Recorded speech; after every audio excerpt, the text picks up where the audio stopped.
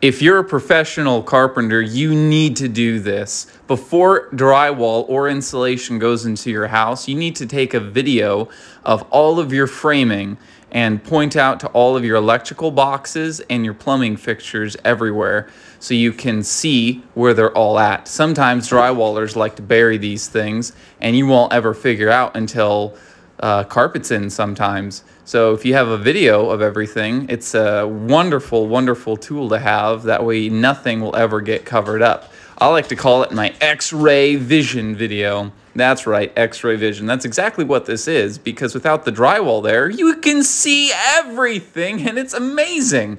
But as soon as that drywall goes on, then you're blind. So don't be a blind carpenter and get yourself a nice X-ray video.